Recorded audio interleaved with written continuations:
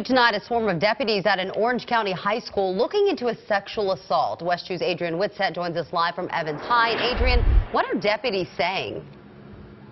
Well, deputies aren't saying much, but we just got confirmation, Angela, that the alleged incident, that sex assault, happened somewhere here on the campus of Evans High School. Other than that, we have very few details other than what we've seen over the last four hours or so. We know deputies first showed up here to investigate a report of sexual battery. They then made contact with the first of three detectives who showed up over the next hour or so.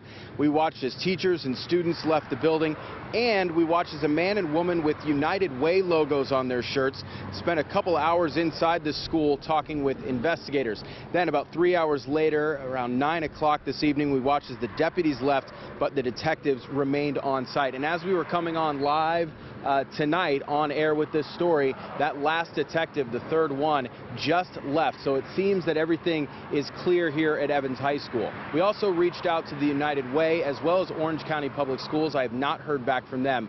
Again, an alleged sexual battery here at Evans High School. That is what deputies are investigating. But beyond that, we are still waiting on more details. For now, reporting live, Adrian Whitsett, WESH 2 News.